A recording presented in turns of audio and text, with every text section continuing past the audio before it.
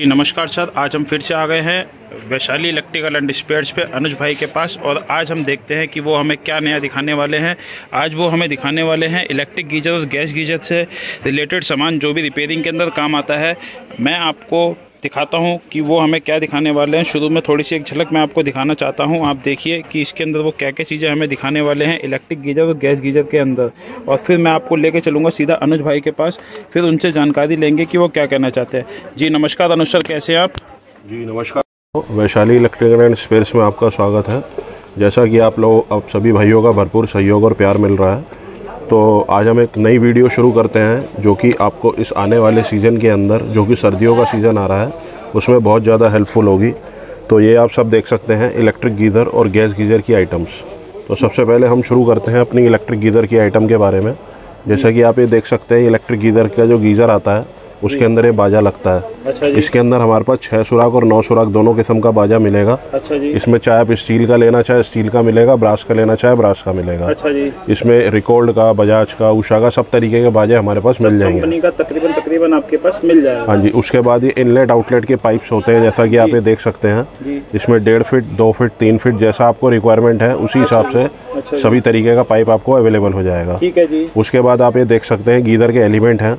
अच्छा गीज़र के एलिमेंट हमारे पास नॉर्मल में तिकोना तिकोना प्लेन इको ऊषा कैनिस्टार तीन किलो वाट बजाज सब तरीके के एलिमेंट आपको मिल जाएँगे। एक पीस मैं उठा के दिखाना चाहता हूँ अपने दर्शकों को। आप देखिए कितनी अच्छी क्वालिटी का ये एलिमेंट है और अब और भी जितने भी प्रकार के एलिमेंट्स आते हैं जैसे ऊषा के बजाज के कैनिस्टार में सभी प्रकार के एलिमेंट मिल जाएँगे जो कि हमने अपनी पिछली वीडियोस में आपको एक हमने एक वीडियो बनाई थी अपनी जो। खाली एलिमेंट की ही वीडियो थी। अच्छा उस अगर आप चाहें तो उस वीडियो में जाकर उन सभी एलिमेंटों के बारे में जानकारी ले सकते हैं ठीक है। जी। उसके बाद हम बात करेंगे गीज़र के थर्मोस्टेट्स के बारे अच्छा में।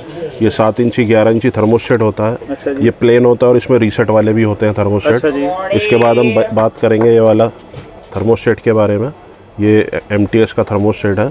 उसके बाद हम बात करेंगे इंडिकेटर्स के बारे में जो गीज़र के इंडिकेटर्स हैं। अच्छा जी।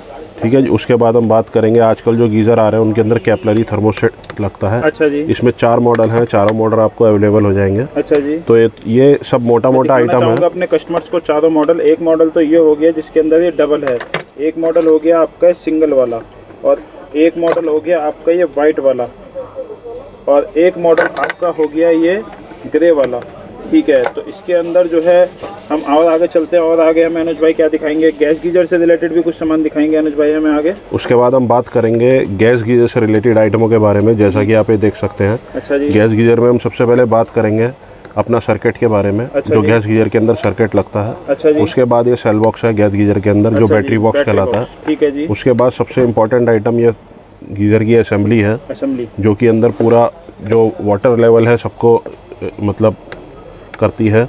उसके बाद आप ये देख सकते हैं टिक टिक है गीजर की। कहते हैं इसे कुछ लोग ये काम आता है। जी जी उसके बाद ये सेंसर होते हैं तीन दो तीन प्रकार के। इसमें सब तरीके के सेंसर हमारे पास आपको अवेलेबल हैं। सेंसर इस तरीके से होते हाँ हैं। जी उसके बाद ये टीओपी आप देख सकते हैं इसमें जो भी डिग्री की आपको चाहिए पिचहत्तर की अस्सी की पिचासी की सब तरीके की मिलेगी। इसके बाद ये नोज़ल आप देख सकते हैं गैस गीजर के अंदर।